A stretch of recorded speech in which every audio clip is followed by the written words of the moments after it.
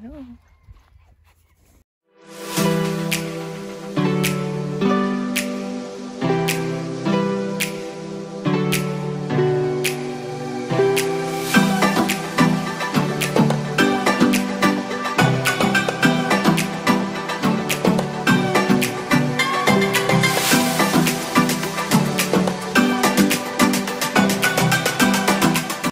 Arrived at the field. I'm just bringing Marley over. He just follows. Um, and we're going to get on again today. And I'm going to be honest, I'm a little bit nervous. So for honesty's sake, everyone, I'm nervous, but I'm going to do it. Um, for those of you who don't know, last time I got on, this happened. And I'm absolutely gutted that I didn't record because I fell off. So naturally I'm like wary. Like I'm not scared, I'm more just wary that it could and probably will happen again because it's just part of the process. But I just wanted to have a little honesty hour so we all know that everyone gets a bit nervous sometimes. Even me. But hey.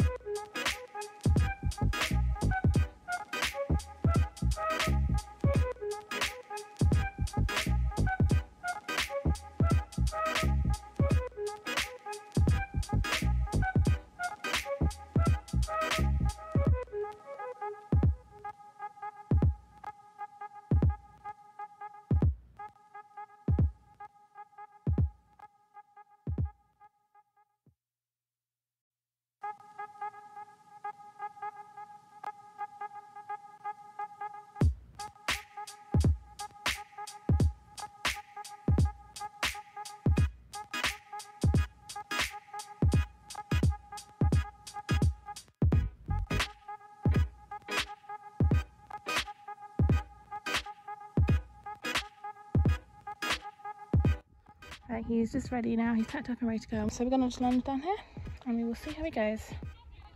You ready? He's really filling out. It's good.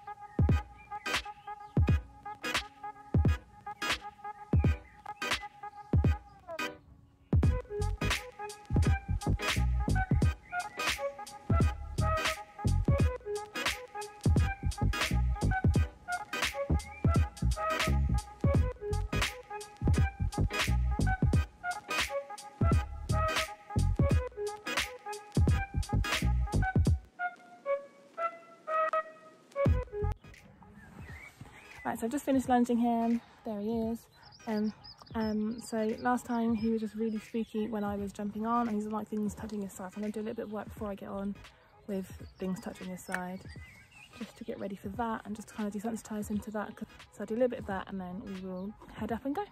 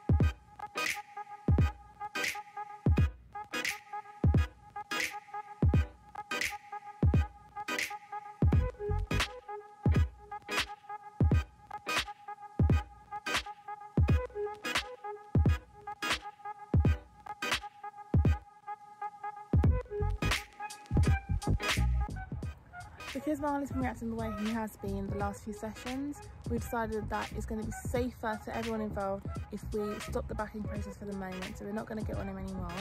We're going to focus more now on desensitizing him, just getting him used to things like the stirrups and things touching his sides because he is really nervous um, and we're just concerned that he's maybe not done as much groundwork as we think he has done.